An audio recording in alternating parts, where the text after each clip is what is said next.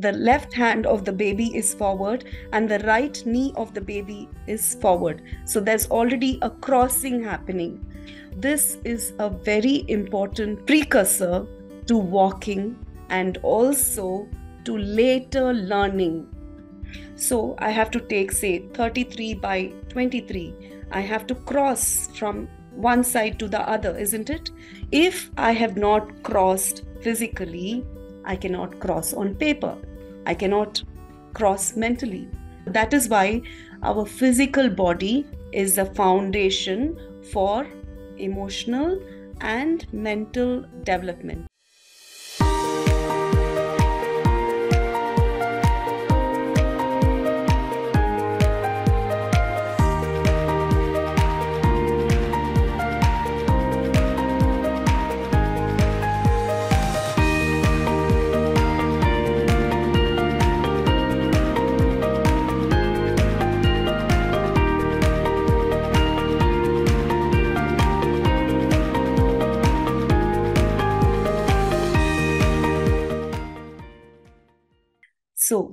During the first year of life, infants achieve several milestones that are crucial, not just in the first year, but the first seven years are very, very crucial. These are the formative years. The word formative means it's not yet formed. So the children are still developing uh, the organs. When we say uh, lungs and hearts, it is not just. Uh, a smaller heart than an adult heart. The entire anatomy is different. Uh, pediatrics is that is why a different uh, specialization. Uh, it's not just a miniature adult that we have in children. They're still forming. They've not yet come to where we are the organs, the different parts of the body, even their faculties are still forming. And I think this is something we need to remind ourselves. We need to bear this in mind constantly when we are with children. A lot of times we look at many things from our perspective how we look at the world even how we look at uh, even the visually how does something look to our eyes? It doesn't look the same to a child because in the beginning uh, you know in the first few years even their sight is still developing. They don't have the three dimensional vision yet. So it's still forming. So in such an age if you go on giving them gadgets which are two dimensional the three three dimensional vision will not develop in the right way. If you don't use it you lose it. And uh, that's something that we need to bear in mind that these are formative years. They're not yet formed. And hence do not do everything that you would do with an adult. Don't look at the world from your eyes when you're dealing with them but from their eyes their point of view. Yeah? This is something i wanted us to um, bear in mind and physical development if i were to hashtag this session you know this is uh, we live in the times of hashtag so if I were to hashtag it, I would say physical development. Watch out for everything that's physical in the zero to seven years. Of course, cognitive understanding, emotional strength is very important, but it is the physical body that is the basis of all this. And uh, we will see more and more development. Um, the development of the neck. One of the first things um, that develops is the steadiness of the neck. You all have seen a newborn, the neck is very wobbly and uh, people will take a lot of care to hold the baby. People even ask, Do you know how to carry a newborn? Because you just can't lift a newborn like that. You need to give adequate support. The spine everything is so tender. So at this uh, when i'm talking about this i want to mention about these new ways of carrying babies that is um, you know coming up in the market. These um, carry bags um, you know they strap the children to their bodies and the children are actually looking out with their hands literally like this um, and uh, you know literally facing the world. I think that's a very wrong way to carry a baby.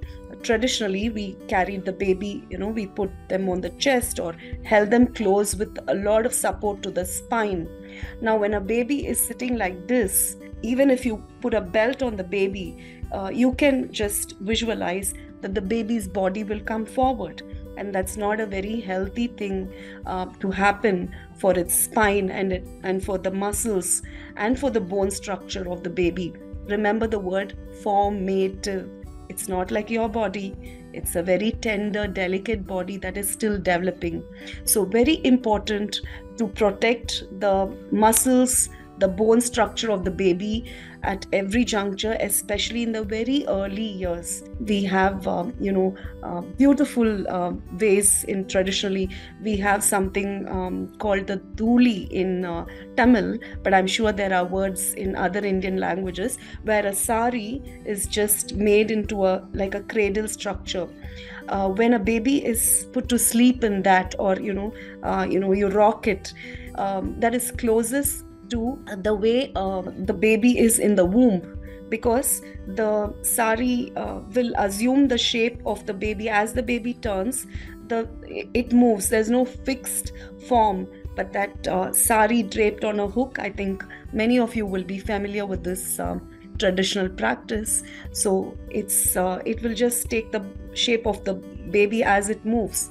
And that's a very beautiful way to um, you know put the baby to sleep in the early months. And of course to have the baby very close to the mother and uh, you know in with the warmth. Remember that inside the womb the temperature is so warm and cozy and we need to uh, you know give the same thing uh, after the baby is outside too. And i think it's um, very important to go back to our traditional practices when it comes to early years or early days of the baby. You know as you would have noticed that children explore through their bodies. In the beginning uh, the first one of the first movements after the neck is uh, you know steady then the children learn to turn over and after they uh, turn over if they have had enough floor time. When I say floor time, not a very uh, cushiony mattress uh, on the floor. They need hard surfaces.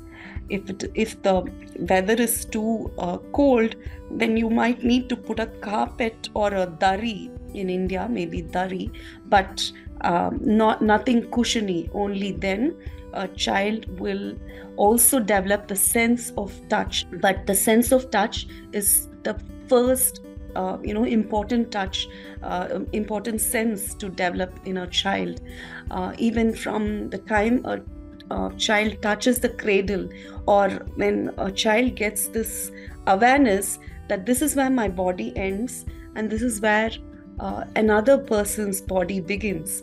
And this is where my body ends and this is where a cradle an alien uh, body is uh, a surface is touching me. That awareness is very crucial for normal functioning of the child in later years. So on the chest children move forward.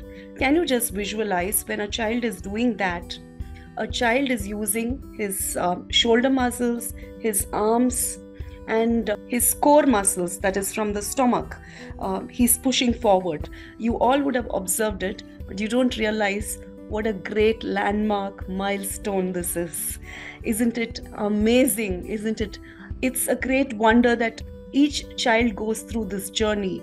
Um, a small, um, you know, a dot in the womb slowly grows you know becomes bigger and then comes out and if all things grows normal then uh, the child cries. And from the fraction of a second a child learns to breathe.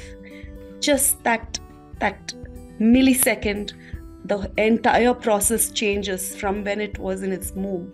This is a wonder and we take it for granted. We take children and what they do for granted and we impose what we want so strongly on them. I'm going to uh, say this a few times, maybe I'm repetitive. Over the years, I've realized how much we own children, how much we think we possess them and we need to mold them and we need to do this and that. But I think we need to see what is going to blossom if we don't do all that and if we allow what they have come for in this world to happen and i think that's that's a very important message that i want to put across. So when a child as uh, you know as the days he grows and he turns over and then he starts creeping uh, on the chest a lot of times nowadays children don't go through this particular milestone of creeping on the chest. Now each of these milestones according to neurologists according to remedial therapists according to pediatricians who follow uh, authentic schools and holistic system of medicine this each milestone is important plays a role in the neurophysiological development of the child. Now of course some of us may not have gone through this milestone some of our children may not have gone through these milestones and they still survive. But somewhere when you um, skip certain things certain things may not happen in the way it has to. This is the ideal situation that i am trying to give. But creeping is an important milestone when the child uses different parts of its muscle which it cannot develop without using these muscles. The left hand of the baby is forward and the right knee of the baby is forward. So there's already a crossing happening this is a very important precursor to walking and also to later learning.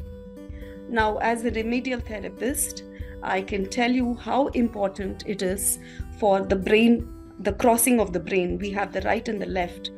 And uh, it's very important for us to do math. What is math? You have addition and subtraction, and you have multiplication, you know, the crossing. So I have to take, say, 33 by 23. I have to cross from one side to the other, isn't it? If I have not crossed physically, I cannot cross on paper. I cannot cross mentally. That is why our physical body is the foundation for emotional and mental development. This is something that all parents and educators dealing with early childhood need to drill into their minds. As the child starts creeping, you will also notice that a child is looking around.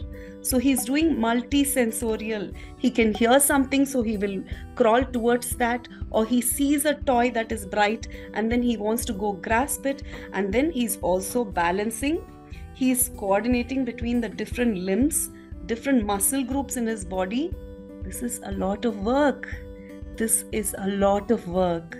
Just because for some children it, it happens automatically, don't underestimate what is happening inside the body.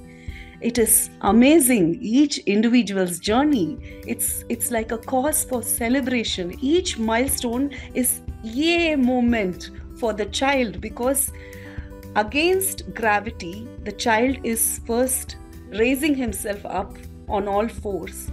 And then, of course, the child raises himself in two legs. And uh, this is these are all uh, you know body physics that a child understands in the process of growing up. Now, there could be a lot of impediments to this. One, the child constantly being carried. And another thing, the child constantly falling sick because of various uh, reasons. Uh, you know too much of chemicals uh, for a small cold and cough giving him antibiotics you know feeding formula food very early feeding you know what is chemically uh, laden. Uh, all this will definitely have a bearing on the development of the physical body